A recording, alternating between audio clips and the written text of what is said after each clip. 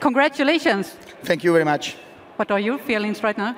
I'm happy. I'm very happy for the race, and uh, I hope that uh, this is the first time uh, to be here. And uh, between a few hours, uh, I can repeat that. How do you like it here in Sweden? I don't understand. I do like. Do you like Sweden?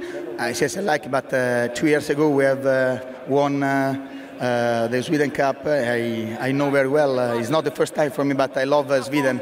I love, I love uh, the horse in Sweden. I love the race in Sweden, and I love so much uh, all the person. The woman in Sweden. also, also the woman, yes. Do you think the Ringostarr Treb can win it again?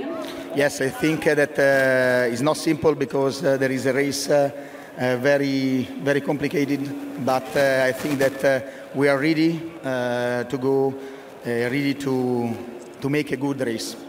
Good luck and congratulations. Thank you very much.